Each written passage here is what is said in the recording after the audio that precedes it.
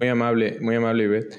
Eh, pues bueno, el día de hoy eh, la plática es acerca de Gatsby. Eh, vamos a ver primero qué es, cuáles son los beneficios de construir sitios web con esta tecnología y después al final vamos a hacer una pequeña demostración de cómo es construir este, los sitios para que vean de manera práctica cómo se hace.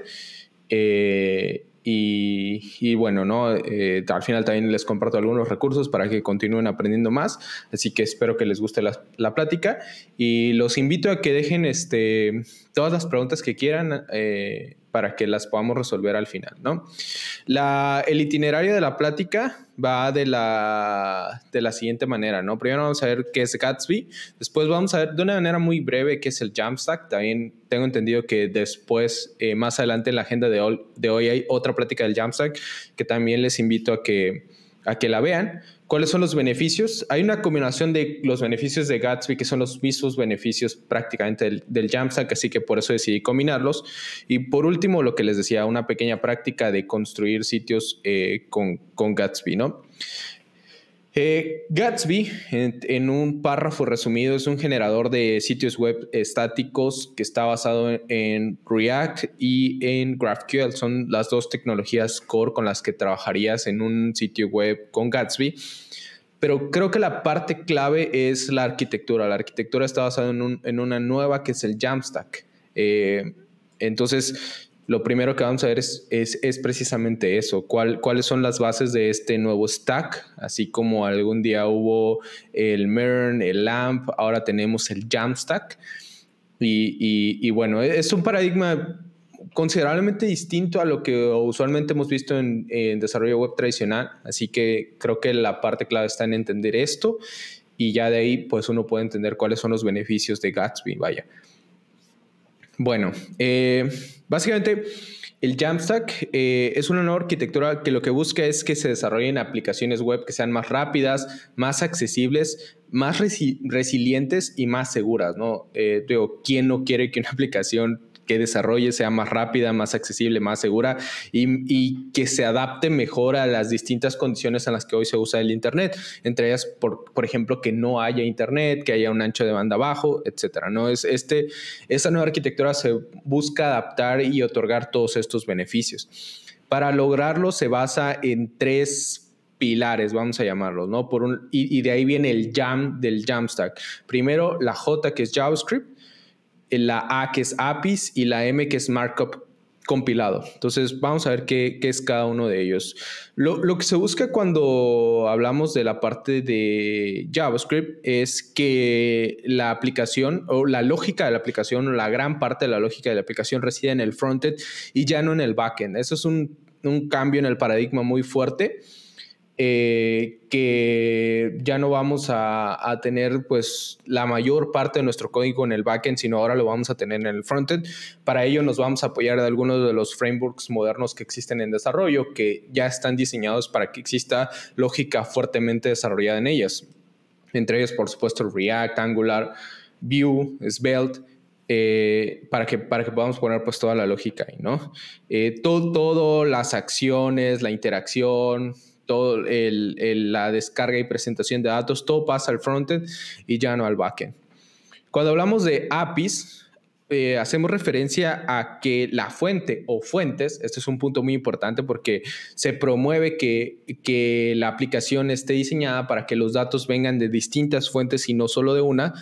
Eh, vienen, estas fuentes de datos vienen a sustituir lo que tradicionalmente se usaba o en una base de datos.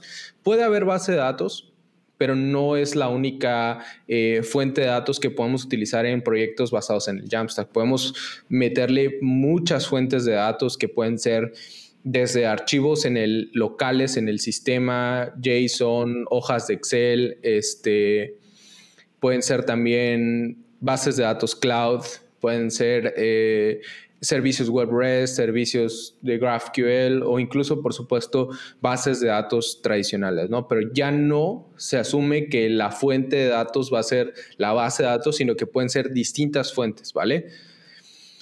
Y por último tenemos lo que identificamos como el markup eh, compilado o precompilado. Es un término que pueden utilizar, que se puede ver en distintas referencias, ¿no?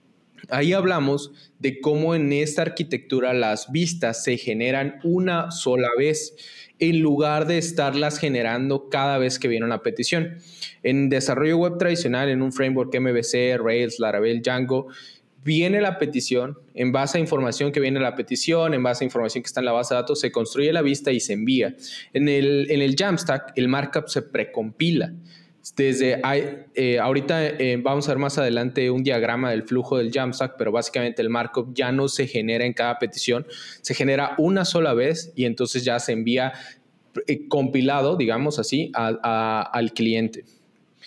Precisamente en este diagrama podemos ver el flujo que sigue una petición web que va a ser resuelta por un framework basado en el Jamstack. La parte importante es esta que está en el círculo rojo, que es la introducción de un nuevo paso al que usualmente conocemos como el build, donde estamos precompilando nuestros templates aquí.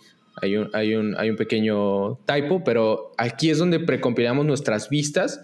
Las vistas precompiladas se suben al servidor en este servidor se alojan archivos ya estáticos, ya no dinámicos, ya no hay lógica en el backend. Y entonces la comunicación con el cliente, con, los usuarios que acceden a nuestra página web, eh, pues ya es directa, ¿no? Le enviamos, solicita una, una petición, le enviamos una respuesta inmediatamente, ¿no? Durante este proceso de compilación es donde vamos a analizar las distintas fuentes de datos, ya sean los archivos, las APIs, las bases de datos que estemos utilizando para alimentar nuestra aplicación. Aquí les digo varios ejemplos, pues puede ser un servicio web, puede ser una hoja de Excel, puede ser un archivo CSV, una base de datos en la nube u otras cosas, ¿vale? Con esta información alimentamos nuestras vistas y las generamos en ese momento. Eh, la diferencia clara es que este proceso sucede solo una vez cuando se modifican los datos, se precompilan y se suben, en lugar de estarlas generando cada vez que viene una nueva petición al, al, servidor, ¿no? Esto, a este nuevo esquema, con este build, con este markup precompilado, con la lógica en el, en el frontend y con eh, distintas fuentes de datos, es algo que conocemos como el Jamstack.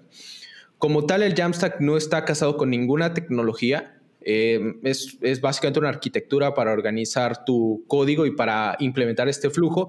Entonces, hay, distintas opciones de, tecnologías eh, hechas para el Jamstack, entre ellas, por supuesto, Gatsby, ¿no?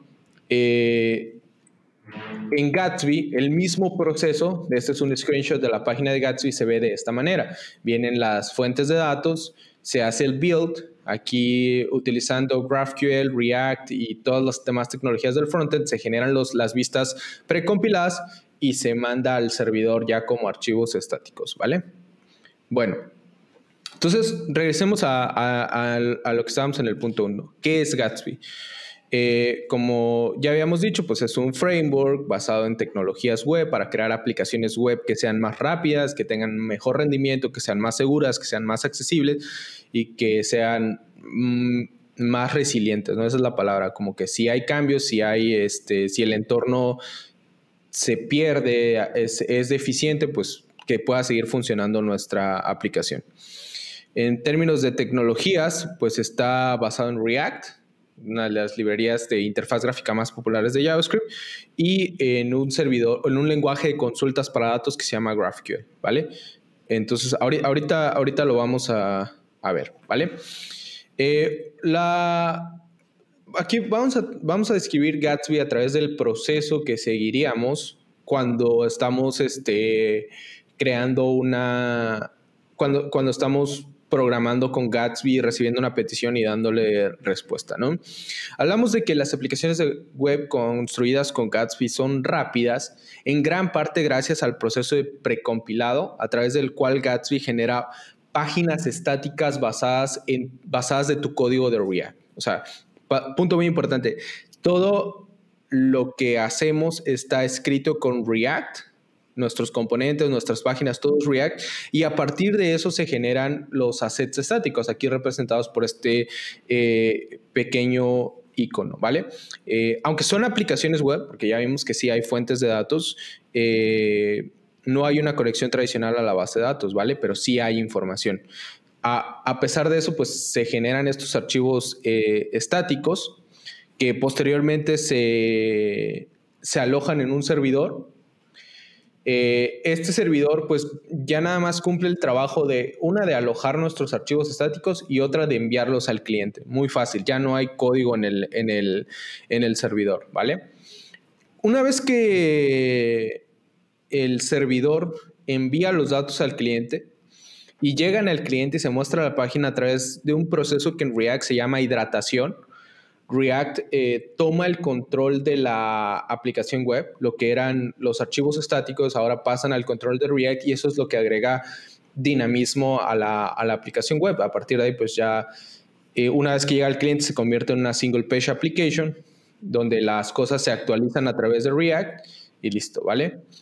Eh, para poder, les digo, para poder generar estos assets estáticos, pues vienen las fuentes de datos que alimentan a Gatsby, se producen los assets estáticos, se almacenan en un servidor y después se envían al cliente donde React vuelve a tomar el control de las cosas. Ese es como el, esquema eh, tradicional. Aquí quise hacer un, un, para añadir a la explicación de qué es Gatsby, una pequeña referencia a qué sí es y qué no es Gatsby, ¿vale? Esto es lo que sí es Gatsby. Que, ¿Para qué nos va a servir lo que sí nos puede ayudar Gatsby? Una es para crear aplicaciones web. Eh, y este, esto es muy importante porque a pesar de que los assets finales son estáticos, sigue siendo una, sigue siendo una aplicación web. El, mindset, la mentalidad debe seguir siendo de que estamos construyendo aplicaciones web, no de que estamos haciendo páginas web estáticas, aunque también puede funcionar para esos escenarios muy bien. Son aplicaciones web hechas con React. Eh, también puedes pensar en Gatsby como una alternativa al famoso paquete Create React App del ecosistema de React, en el sentido de que puedes utilizar Gatsby para crear proyectos de React.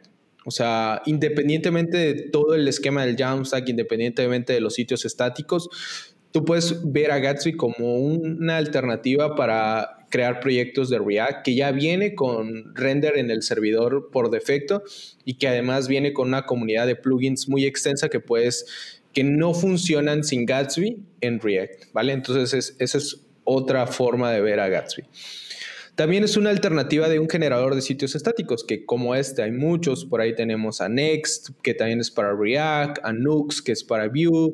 Si ya no estamos hablando de tecnologías de JavaScript, pues tenemos eh, otras alternativas. Eh, en otros lenguajes de programación, los generadores de sitios estáticos son muy populares en escenarios donde por ejemplo, si vas a crear un blog o si vas a eh, tener un sitio web que son puras landing page, que no hay base de datos, ahí los generadores de sitios estáticos son muy buenos. Y Gatsby es una tecnología alternativa en este escenario de generar este, sitios estáticos. En el frontend es como una single page application, ¿vale? Cuando tú quieres trabajar una single page app con React, tienes que configurar que si el router, que si eh, las vistas, que si todo esto, bueno, en Gatsby ya viene preconfigurado. Así que alternativamente, si lo que tú quieres es generar una single page app con Gatsby, pues también puedes, puedes verlo de esa, de esa manera, ¿ok?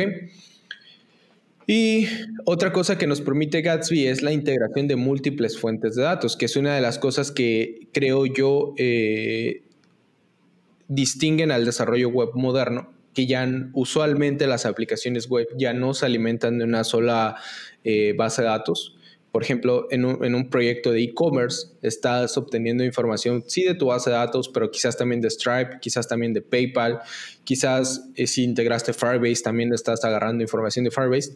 Entonces, es un, es un común denominador en las aplicaciones web modernas que ya no se centralice la información en una sola fuente, sino que se diversifique. También con Gatsby puedes hacer eso y de hecho es una de las grandes ventajas de usar Gatsby. Y ahorita voy a entrar más en detalle de esto un poquito más adelante, ¿ok? Eso es lo que no es Gatsby y, creo que eso es una de las partes importantes de, entender el, concepto y las limitantes. Primero, no hay una conexión directa a la base de datos, no vas a, probablemente no vas a escribir consultas a menos de que, eh, bueno, hay, hay, escenarios muy específicos donde quizás sí, pero no debes pensar en la base de datos como la tradicional fuente eh, toda, toda poderosa de la información como en, es un, en un lenguaje, de, en un framework MVC, ¿vale? Eh, más bien tienes que pensar que ahora tienes otras alternativas para traer los datos y cuál es el que te, te conviene en, en, cada escenario que tú, que tú tengas. Un ejemplo, en un blog quizás eh, no sea necesario, ahora que hay más alternativas, traer la información de la base de datos si simplemente puedes tener tus archivos Markdown con la redacción del blog alimentando tu, como fuente de datos tu, aplicación web, ¿no? Es un ejemplo. Entonces, el, este primer punto más más bien habla de cómo pues debes de, abrir las alternativas para ver qué fuente de información te conviene en cada escenario de tu aplicación web y que puedas tener múltiples. Punto dos, muy importante, no hay un lenguaje del servidor.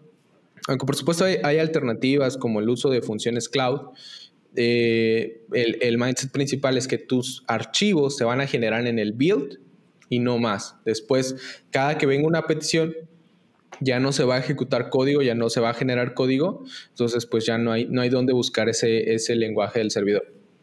Recuerda que como parte del Jamstack se espera que la lógica resida en el frontend y ya no en el backend, ¿vale? Los archivos son estáticos, las vistas son estáticas, los assets son estáticos y no van a cambiar en cada nueva petición, ¿vale? Solo van a cambiar en el proceso de build, que se puede ejecutar muchas veces pero por petición no, no, no vas a ver que los archivos cambien. Y, una de las grandes razones por las que quizás vayas a requerir reconstruir estos archivos es porque vayas a considerar sesiones, eh, una cookie o algo así para saber qué usuario es auténtico y en base a eso generar un archivo. En este escenario tampoco hay el manejo de sesiones, pues porque no hay lenguaje del lado del servidor. ¿Ok? Bueno, ¿Cuáles son los beneficios de Gatsby? Están muy relacionados, como les decía, con los beneficios del Jamstack, así que decidimos, este, bueno, decidí ponerlos en, el, mismo, grupo. ¿Ok? Lo que, lo que el Jamstack busca es que nuestros proyectos web sean, lo que ya les decía, mejor, más seguros, mayor seguridad, sean más rápidos, o sea, carguen más rápido la página, haya una respuesta más rápida desde el servidor, eh, incluso aprovechando estrategias como redes de distribución en la nube o el caché del navegador, la respuesta sea casi instantánea. Eh, además que haya resiliencia, que este punto es, por ejemplo, eh, que el framework está diseñado para que si no hay internet, la aplicación web pueda seguir funcionando, ¿no? Por un lado, esto es tecnología independiente del Jamstack, es decir, que las páginas web funcionen sin Internet, pero el Jamstack está hecho para aprovechar este beneficio, ¿no? Y cuando tienes una aplicación que no funciona sin Internet, casi por automático tienes una aplicación que funciona bien con Internet lento, con una conexión lenta. Y por supuesto tienes una aplicación que funciona bien con Internet rápido.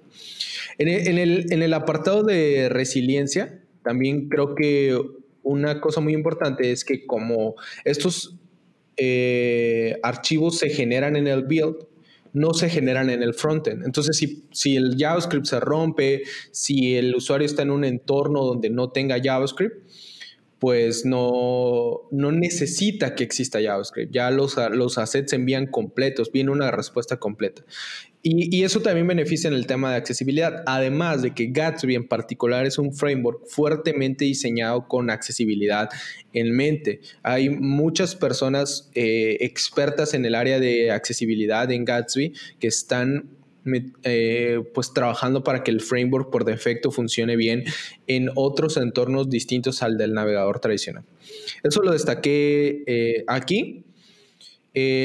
cuando hablamos de mayor seguridad, Hablamos de cómo las vistas se generan en un proceso de build y no se generan en cada petición. Eso significa que hay menos entradas del usuario al momento de construir las vistas. Digo, de nuevo, esto es un ambiente controlado, lo cual reduce la cantidad de amenazas de seguridad a las que puede estar expuesto nuestro servidor, entre ellas un ataque, por ejemplo, XSS, eh, pues ya no, ya nuestra aplicación no es eh, propensa como en una aplicación web eh, tradicional donde el usuario tiene muchas entradas hacia el servidor.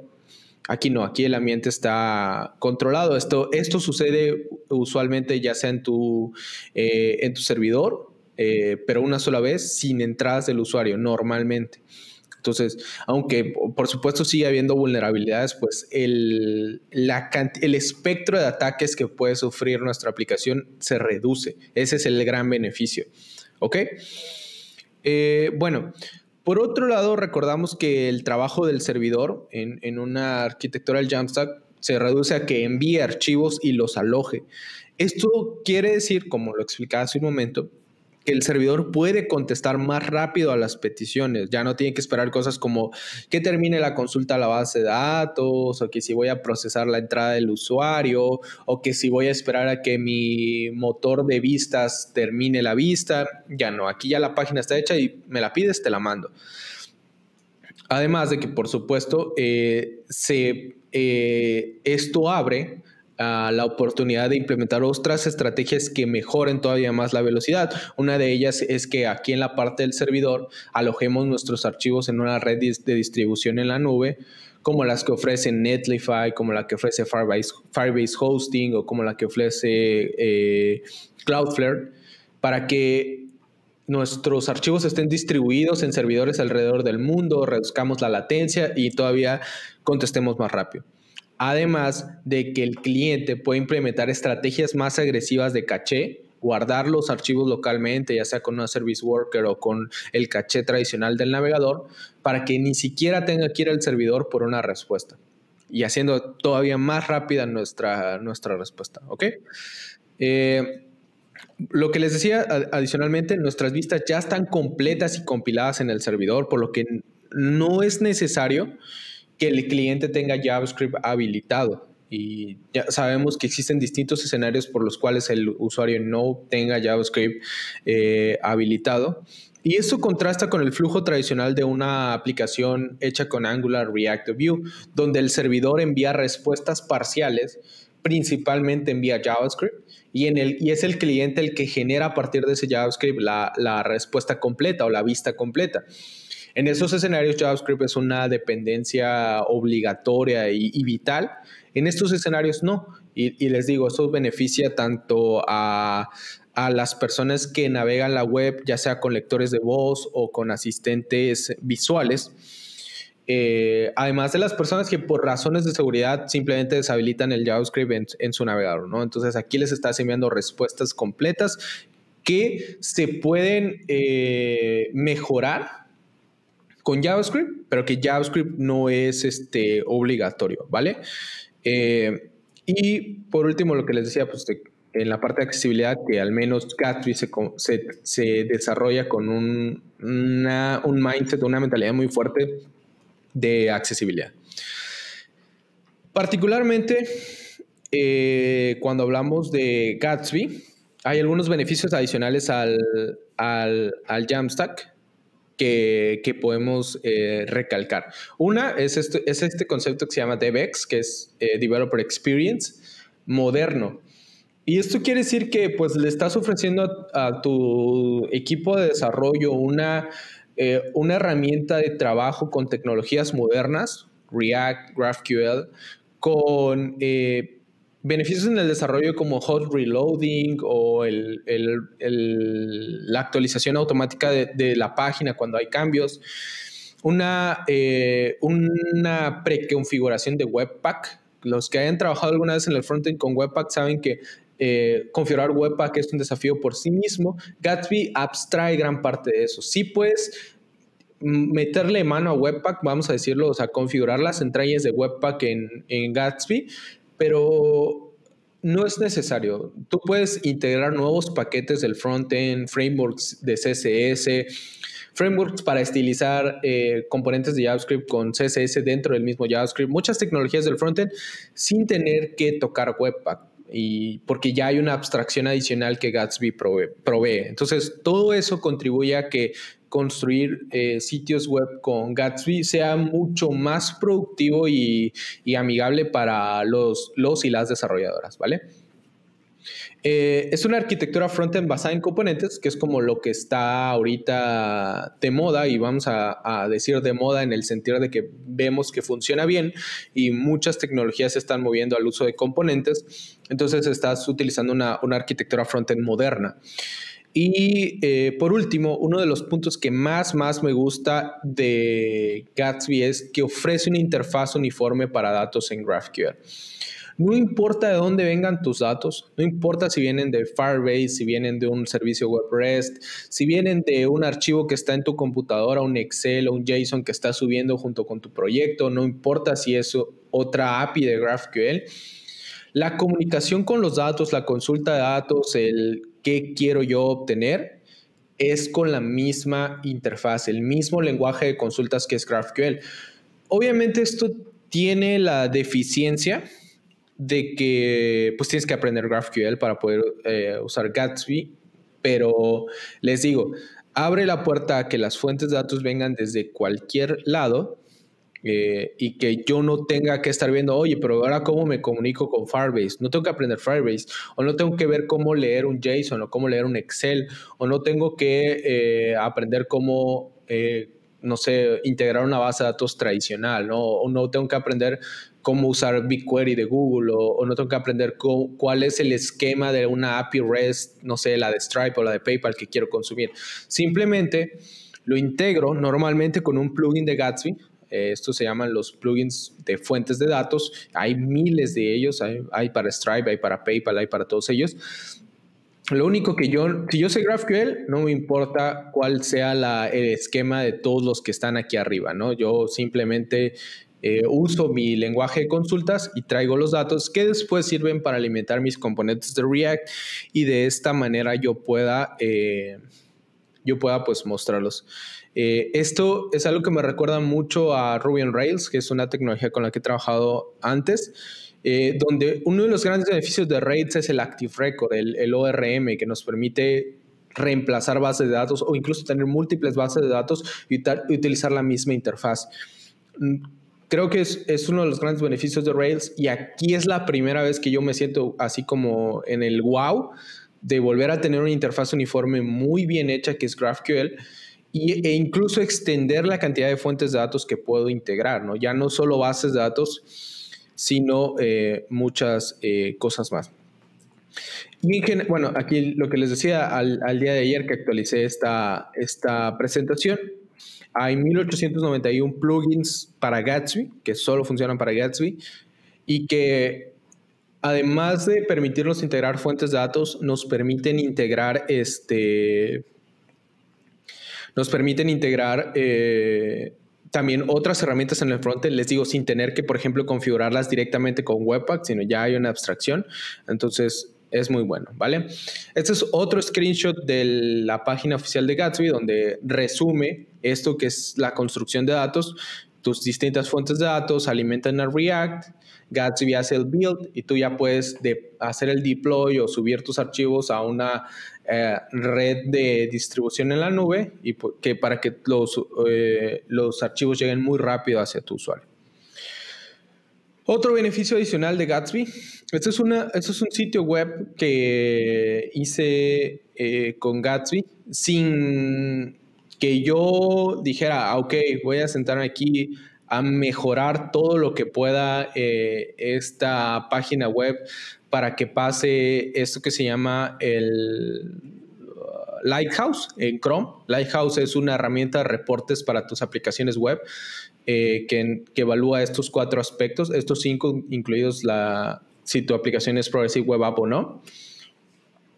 Y casi por defecto, casi out of the box, como, como, como solemos decir, o sea, por defecto, tus aplicaciones de Gatsby se van a ver así en Lighthouse, o sea, verde, verde, verde. Eh, y eso es muy bueno, ¿no? Es una herramienta que por defecto te da una aplicación con muy alto rendimiento y que tendrías que esforzarte mucho para bajar varios de estos, eh, varios de estas evaluaciones, ¿ok? Entonces, alta productividad, buena experiencia de desarrollo, páginas web rápidas que usualmente se traducen en mayores ingresos, mejor retención, más usuarios, eh, resiliencia, mejor seguridad y accesibilidad. Entonces, muy bien. Bueno, vamos a ver cómo, cómo se construyen los sitios web en Gatsby, ya un poquito más práctico, ¿ok? Eh, esto es el flujo, ¿no? Gatsby usualmente toma información de tus fuentes de datos, a partir de esa genera páginas web estáticas hechas con React. Todo se hace con React. Eh, hay cuatro grandes elementos, eh, o cinco, aquí ayer, ayer que estaba analizando lo que iba a decir hoy, me acordé que, que podría agregar uno más, diría que son cinco. Uno están los componentes. Los componentes que pueden ser toda una página o elementos de la UI que están escritos en React son el, la forma en cómo tú defines todo, ¿no? Basado en componentes. El esquema de datos generado por GraphQL, que contiene por un lado la información, es decir, cómo, cómo se va a responder a tus consultas de GraphQL, y la estructura de tus datos. Eh, eso te permite ver qué datos tienes, cuál es la estructura de esa información, qué propiedades tiene cada elemento, eh, etcétera. Si es un arreglo, si es un objeto, etcétera. Entonces, todo eso viene en el esquema de datos de GraphQL. Los archivos API, este sería el tercero. Eh, estos son cuatro y nos permiten hacer configuraciones a los distintos entornos que Gatsby ofrece. Estos entornos son el, el server-side rendering, el navegador. O sea, si tú quieres, por ejemplo, configurar algo específicamente para el navegador, como una impresión en consola o un alert, hay un archivo API para el navegador. Si tú quieres configurar algo para el, punto de render desde el servidor, el, el, SSR, hay un archivo para eso. Para el, el punto de build, el proceso de precompilado, también hay un archivo para eso. Y bueno, básicamente son cuatro, ¿no? Y, el, y creo que por ahí es, incluye el Gatsby config, que es donde se hace toda la configuración del, del proyecto.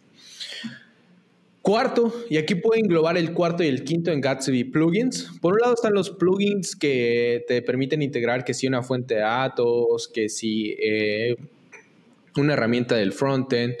Y aparte están los Gatsby themes, los temas. Estos temas es como incluir un gran bonche de funcionalidad a tu aplicación.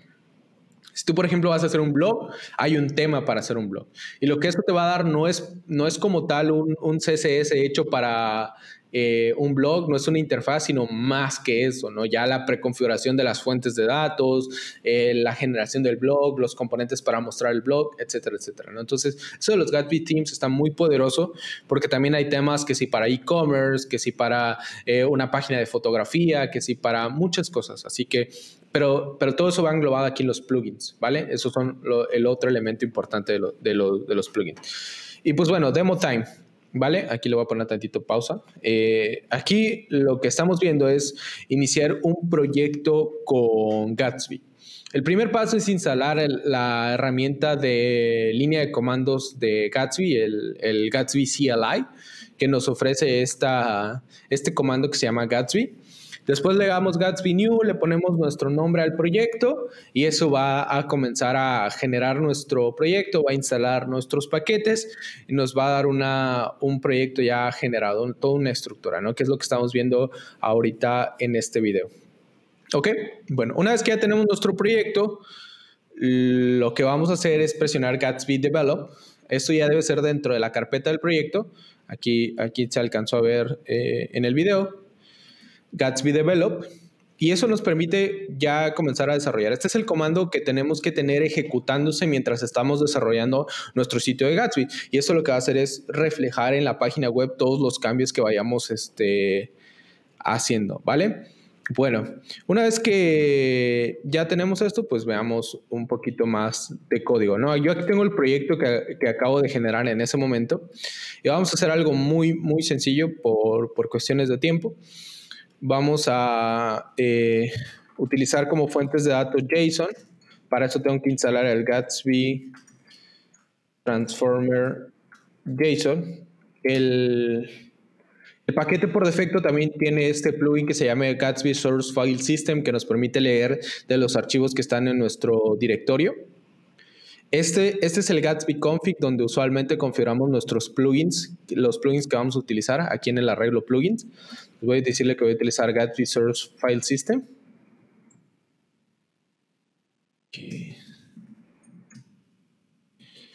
Ahí está. Y también tengo que utilizar, perdón, aquí es Gatsby transformer JSON.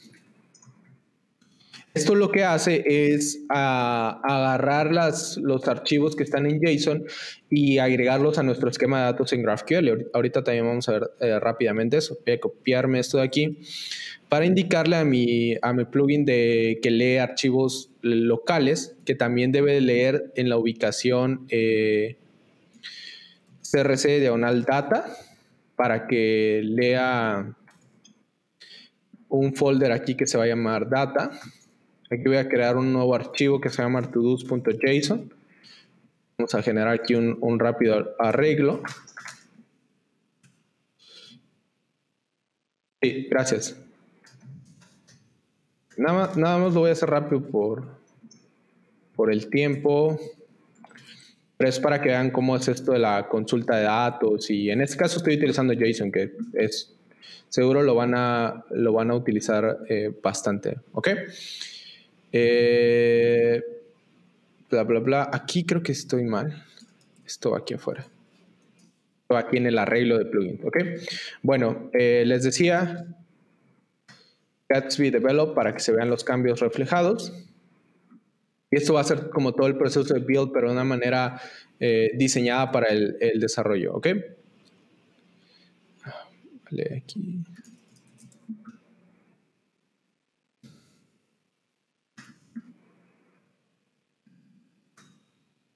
Gatsby Develop.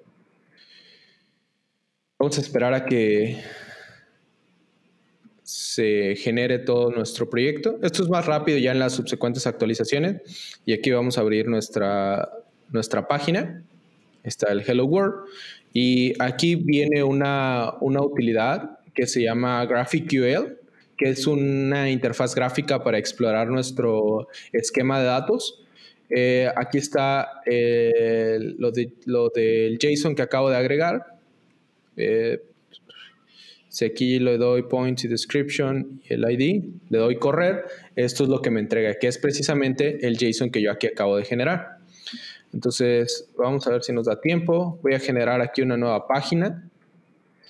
cualquier componente que esté dentro de la carpeta page se considera una nueva página. Aquí voy a utilizar un, componente que se, llama layout, que ya viene en, eh, en, el, en el Getting Started o en el proyecto por defecto que genera Gatsby. Voy a exportar mi consulta de GraphQL para que pueda yo leer la información. Eh, esto va debería de retornarme lo mismo que me retornó acá y lo va a inyectar a las props de mi componente, ¿no? Nada más déjenme importar el layout. Eh, si yo aquí rápidamente imprimo las props de esta página, de este componente página, y me voy a diagonal todos. El nombre lo adoptó del nombre del componente, todos, todos. Eh, vamos a ver aquí el, el objeto y vemos cómo aquí están precisamente los datos al yo exportar en una página esta constante query con una consulta de GraphQL, se inyecta el resultado de la consulta a mi, a mi página, ¿vale? Bueno, entonces aquí muy rápido vamos a agarrar mis to-dos que están en props.data.all y vamos a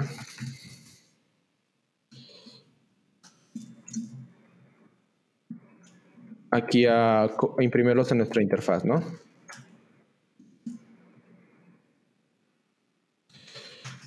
Ahí está. Y vemos cómo se actualiza automáticamente y listo, ya están mis datos. Vamos a hacer una modificación a mis datos para que veamos cómo si lo está extrayendo de acá. Se actualiza automáticamente se actualiza automáticamente. Y ese es como el flujo así muy, muy básico de cómo eh, sería construir eh, sitios web con, con Gatsby. ¿no? Ya vimos todo el panorama, ya vimos cuál es el flujo que recorre Gatsby y ya vimos de manera práctica. Para saber más, la documentación de Gatsby es muy buena. Había un esfuerzo para traducirla al español. No estoy actualizado qué tan avanzados van o si ya hay una página donde lo puedas ver, pero sí hay un repositorio donde la documentación está en español, si, si así lo prefieres. Pero eh, la, documentación en general es muy buena. Hay una página aquí en los, en los docs que se llama eh, como recetas recipes, que viene ahí cosas como quizás lo que tú quieres hacer es como traer de tus datos JSON. Bueno, ya hay, un, hay una página de documentación donde paso a paso te explican qué es lo que quieres hacer. Trabajar con imágenes, transformar tu información, trabajar con temas, que es lo que les decía. Aquí ya viene y esos son como tutoriales. Y además, en las, últimas versiones del Gatsby CLI, esto fue anunciado el 16 de abril, viene ya una opción para que desde la interfaz de de Gatsby tú le digas, quiero que me agregues Team UI y ya te lo agrega eh, solito, ¿no? Eso ya, ya está preconfigurado. También en el canal de Gatsby hay unas listas de reproducción a algo que se llaman los Gatsby Days, que son como conferencias que organiza el mismo equipo de Gatsby y están ahí en YouTube por si las quieren ver. Y pues bueno, esa, esa fue toda mi plática, espero que les haya gustado. Eh, si tienen alguna duda, pues con gusto la, la podemos resolver. Muchas gracias.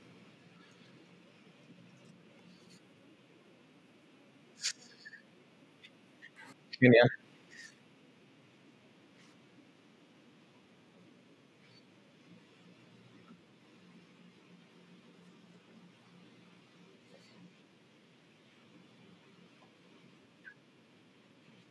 Ok. Ok. ok, eh, sí hay algunas preguntas. Em, nos preguntan, eh, bueno, te preguntan que ¿en qué tipo de proyecto recomiendas tú es más conveniente utilizar Gatsby? Pues una, uno de los escenarios en los que yo lo, he visto eh, y, que puede ser como un punto de entrada para tu, producto y tu, equipo es mover todas las landing page hacia Gatsby. Digo, van a cargar mucho más rápido, eso, eso normalmente trabaja en, mayores conversiones.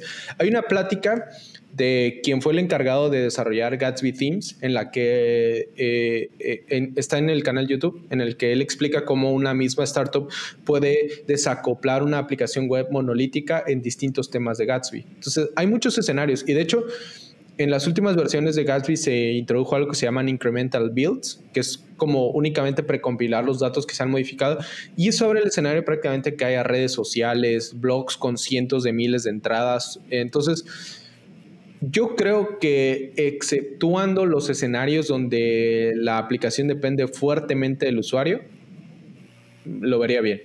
Eh, digo, si por ejemplo vas a hacer un Facebook, pues creo que sería eh, adaptar muy, muy fuerte el framework. Por ahora, inicialmente blogs, landing page van muy bien aquí en, en Gatsby.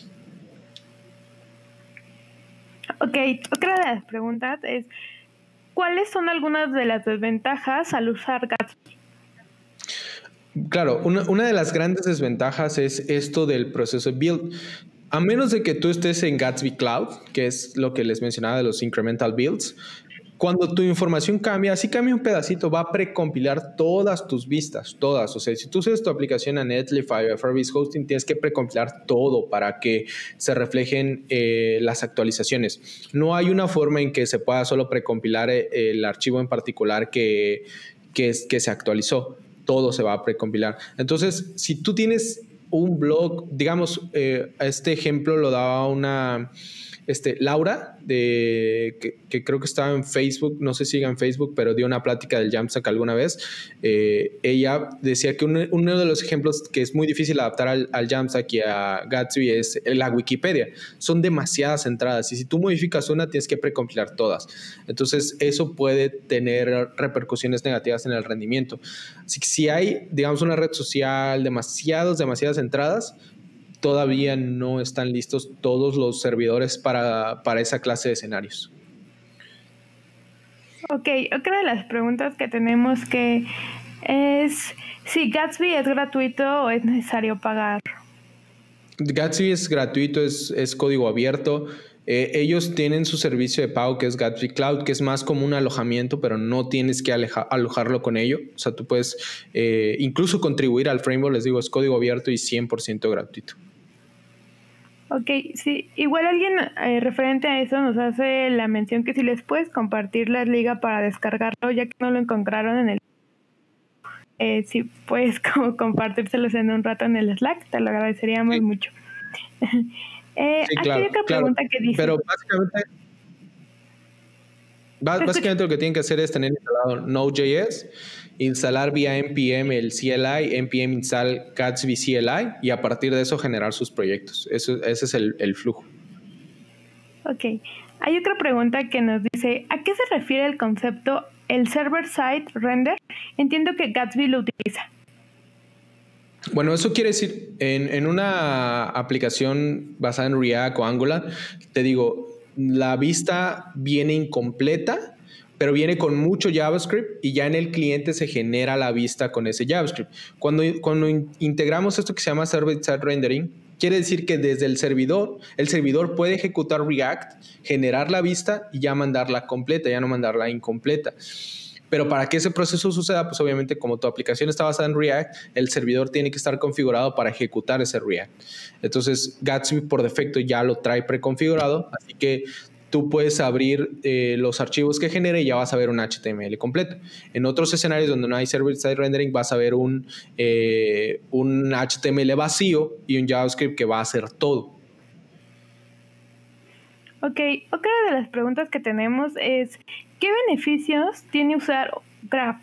¿Y cuál es la diferencia entre tener mi propia API? Bueno, tú incluso puedes tener tu propia API basada en GraphQL. Lo que GraphQL es un proyecto hecho en Facebook precisamente para los desafíos de Facebook. En, en una API tradicional, si, por ejemplo el, el, la persona que está trabajando en el cliente necesita información estructurada de cierta manera, quítame estos campos, ponme estos otros campos, ponme esta relación. El del backend tiene que modificar la API para que pueda entregar esta información. En GraphQL no, en GraphQL el lenguaje de consultas se usa desde el cliente. Ya el cliente dice, el que está programando el cliente dice, bueno, quiero estos datos, quiero estos otros, estos no los quiero, quiero esta estructura y lo descarga.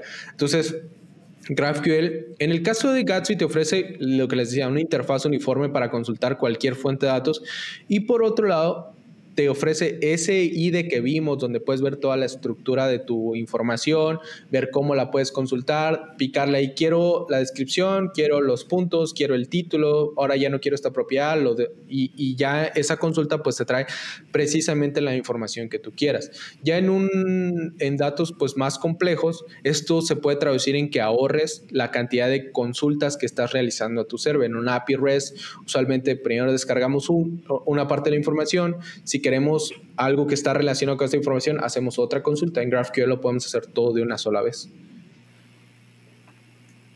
Ok, hay otra pregunta que nos, aún hay tiempo y dice, ¿NetJS es una alternativa mejor que Gatsby o Gatsby es mejor? Es una alternativa, honestamente. No, yo nunca he usado Next así mucho, eh, así que no te podría decir cuáles son las diferencias. Sé que Next está haciendo cosas muy interesantes y que de hecho hay una relación muy estrecha entre Next y Chrome. Entonces hay como que un uso muy fuerte de, de, las herramientas del, del, navegador.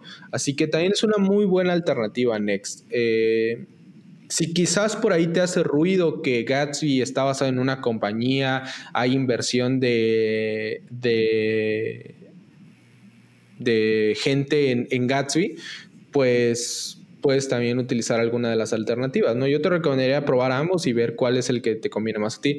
Lo que sí es que estoy casi seguro que Next no tiene GraphQL. Entonces, ese es, ese es un cambio muy fuerte entre lo que es Gatsby y lo que es Next. A mí personalmente me gusta mucho tener GraphQL y por eso es que uso Gatsby. Ok, hay una pregunta igual muy relacionada a esta que dice que cuáles son las diferencias precisamente de Gatsby frente a otras opciones eh, parecidas como Nets que nos comentaban hace un momento. Pues mira, Principalmente, digo, hay, alternativas muy similares, o sea, y en el caso de Next y, Gatsby creo que está GraphQL como un gran diferenciador y, el, y las fuentes de datos, pero Next también ofrece server-side rendering y, React, ¿no? Alternativas más similares a Gatsby podemos eh, mencionar a Greenson, que es lo mismo, literal lo mismo, pero con Vue. Y también está la gente que trabaja en Skewly, que es como también algo muy similar a Gatsby, pero con Angular. Entonces ahí pues también dependerá de qué es lo que esté en tu expertise y en el expertise del equipo para decidir cuál de estas alternativas utilizar. ¿no? Eh, Gatsby tiene un poco más de tiempo, así que quizás sea un poco más, eh, tenga más, más implementaciones que los demás, pero también son buenas opciones los otros.